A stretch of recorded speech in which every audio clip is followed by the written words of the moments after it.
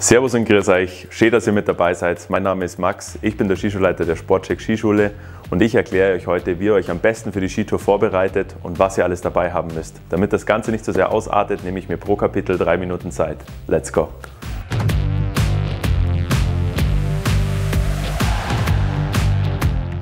Wie ziehe ich mich auf Skitour richtig an? Bergauf ist es meistens zu warm, beim Bergabfahren ist es meistens zu kühl. Damit es euch nicht so geht, kommen hier meine drei Tipps, damit ihr sicher und vor allen Dingen komfortabel auf Skitour unterwegs seid. Tipp Nummer eins: Wählt die richtigen Schichten. Eine richtige Skitourenausrüstung besteht meist aus vier Schichten. Erfahrungsgemäß bewährt es sich wirklich, beim Skitourengehen meist eine Unterwäsche anzuziehen, darüber einen Base Layer, dann eine Isolationsjacke und dann eine Hardshelljacke aus windabweisendem Material zu nehmen. Das ist die beste Kombination, die dich sicher am Berg begleiten wird. Beim Bergaufgehen kannst du dann verschiedene Schichten in deinem Rucksack verstauen und beim Bergabfahren wieder anziehen, damit es dir nicht zu kalt wird. Tipp Nummer zwei: Wähle die richtigen Stoffe. Natürlich haben verschiedene Funktionsmaterialien unterschiedliche Aufgaben. So ist es zum Beispiel wichtig, eine atmungsaktive Unterwäsche nah am Körper zu tragen, zum Beispiel aus Merino-Wolle, die den Schweiß vom Körper wegtransportiert. Als Midlayer ist es besonders empfehlenswert, eine Daunenjacke oder ein ähnliches Material wie zum Beispiel Primerloft zu verwenden, damit es dich warm hält. Das ist vor allen Dingen bei der Abfahrt extrem wichtig. Als Hardshelljacke würde ich eine Gore-Tex-Membran oder ähnliches empfehlen, die dich vor Schnee, Kälte und Wind schützt. Mein dritter Tipp, was sind die richtigen Accessoires, die ich auf Skitour dabei habe? Da gibt es natürlich ganz verschiedene Geschmäcker, ganz verschiedene Styles. Je nachdem, wie ihr unterwegs sein wollt, habe ich ein paar verschiedene Vorschläge für euch mitgebracht. Ganz wichtig ist es, einen Rucksack mitzunehmen. Ob das ein Avalanche Bag ist oder ein ABS-Rucksack oder ein ganz normaler Rucksack, ist eigentlich im ersten Sinne mal egal. Das kommt natürlich darauf an, wie risikoaffin ihr unterwegs seid und wie sicher ihr am Berg unterwegs sein möchtet. Darüber hinaus empfehle ich auf jeden Fall, eine Skibrille und eine weitere Sonnenbrille mitzunehmen, mit einem UV-Schutz, damit ihr bestmöglich geschützt seid. Ganz wichtig sind auch noch Wechselklamotten, vor allen Dingen die unterste Schicht doppelt einzupacken, damit ihr oben am Gipfel, am Ende des Aufstiegs, die Klamotten wechseln könnt und so wieder geschützt seid. Des Weiteren würde ich euch empfehlen, ein Stirnband oder eine Mütze mitzunehmen, damit ihr beim Aufstieg geschützt seid oder unter den Helm anzuziehen. Dann empfiehlt sich natürlich noch eine Thermosflasche oder generell etwas zu trinken mitzunehmen und ein paar Snacks als Proviant. Und noch ein weiterer Profitipp. Wenn ihr später in der Saison unterwegs seid, wie zum Beispiel im Frühjahr, empfiehlt es sich, ein bisschen Skiwachs mitzunehmen, um das auf die Felle aufzutragen, dann stollen eure Ski nicht an.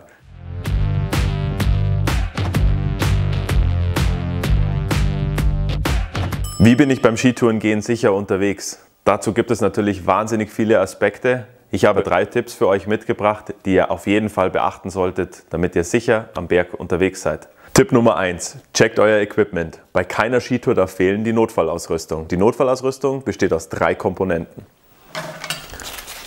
Einmal das LVS-Gerät. Das LVS-Gerät ist meistens mit Batterien betrieben. Die sollten vor jeder Skitour gecheckt werden. Des Weiteren solltet ihr unbedingt sicherstellen, das LVS-Gerät immer nah am Körper zu tragen, auch im Aufstieg. Im Rucksack hat es nie etwas verloren. Die nächste wichtige Komponente ist die Sonde. Die Sonde wird bei der Feinsuche verwendet, um den Verschütteten zu orten. Die letzte Komponente ist die Lawinenschaufel. Die Lawinenschaufel dient dann, den Verschütteten auszugraben. So seid ihr sicher am Berg unterwegs. Aber das ist noch nicht alles.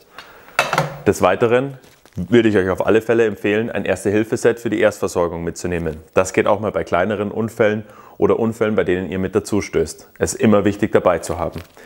Und zu guter Letzt der ABS-Rucksack, wie in diesem Fall hier. Ein ABS-Rucksack kennzeichnet sich mit einem großen Ballon, den es aufbläst, nachdem man ihn gezogen hat und euch so im besten Falle oberhalb der Schneeoberfläche hält, falls eine Lawine ausgelöst wird. Tipp Nummer zwei: Ohne einen Kurs vor eurer Skitour geht überhaupt nichts der sollte auch jedes Jahr unbedingt aufgefrischt werden. Ihr müsst dafür nicht immer zu einer professionellen Skischule oder Bergschule wie die Sportcheck Berg- und Skischule, sondern könnt das auch zusammen mit Freunden machen, die vielleicht schon ein bisschen Erfahrung mit dem Thema haben und genau wissen, um was es geht. Aber nehmt euch die Zeit, geht raus, vergrabt einen Rucksack und sucht diesen einfach mal.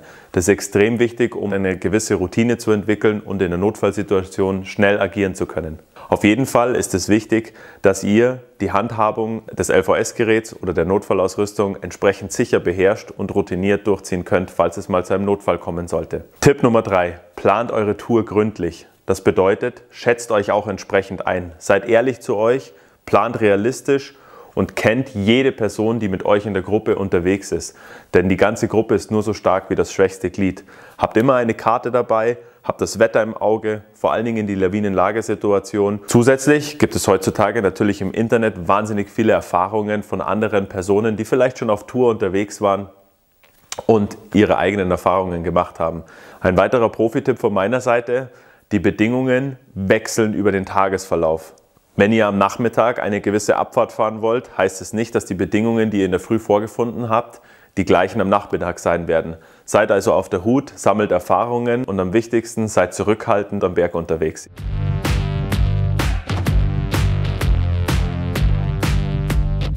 Welches Material braucht ihr auf Skitour? Um euch einen ersten Einblick zu geben, habe ich ein paar Essentials zusammengefasst, die in keinem Skitouren-Equipment fehlen dürfen. Punkt Nummer 1.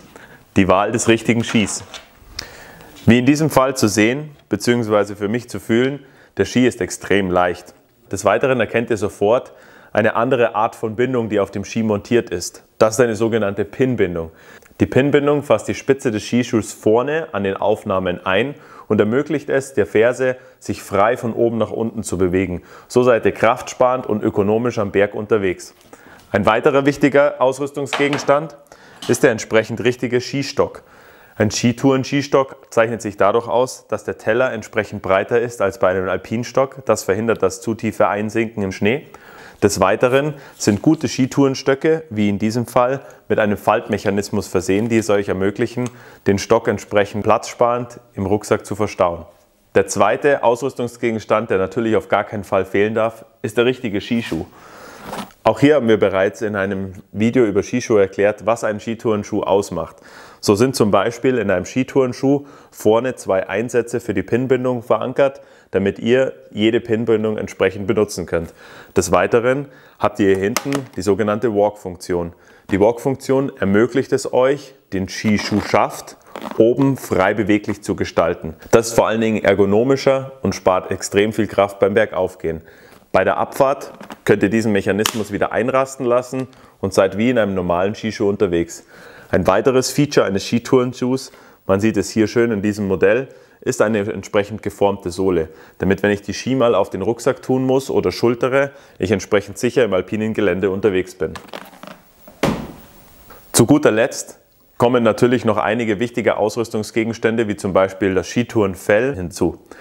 Ein Skitourenfell, wie am Beispiel hier, ist essentiell für den Aufstieg. Ein Skitourenfell verhindert das Abrutschen und kann auch bei härteren Bedingungen hergenommen werden. Allerdings nur, wenn es entsprechend gewartet und gepflegt wird. Hier ein paar Tipps dazu. Vor der Skitour müsst ihr unbedingt darauf achten, den richtigen Sitz des Fells am Ski zu überprüfen. So werden lästige Rumrutschereien, die während der Tour entstehen können, vermieden und ihr seid sicher in jeder Situation am Berg unterwegs. Des Weiteren empfehle ich euch beim mehrmaligen An- und Abfällen während einer Skitour, vielleicht mit kleinen Zwischenabfahrten und so weiter, das Fell nah am Körper zu verstauen. So vermeidet ihr, dass es unnötig nass wird bzw. zu kalt wird, was wiederum die Haftung auf dem Ski einschränkt und ihr nicht sicher am Berg unterwegs sein könnt. Achtet darauf, dass die Felle nie direkt miteinander verklebt werden und immer, wie hier zu sehen, mit dem Sheet als Zwischenlage verklebt werden. Damit ist es aber noch nicht getan. Nach der Tour empfehle ich euch, die Felle entsprechend zu warten, denn sonst habt ihr nicht lange Spaß mit dem Material. So heißt das zum Beispiel, legt die Felle nicht direkt auf die Heizung, denn ansonsten wird der Kleber weich und verläuft unter Umständen, sondern lasst das Fell einfach bei Zimmertemperatur austrocknen. Ganz wichtig, nehmt euch die Zeit, nehmt die Felle aus dem Rucksack, aus der Tasche und lasst sie austrocknen. Ansonsten habt ihr wesentlich weniger Spaß und eine kürzere Lebensdauer für das Fell.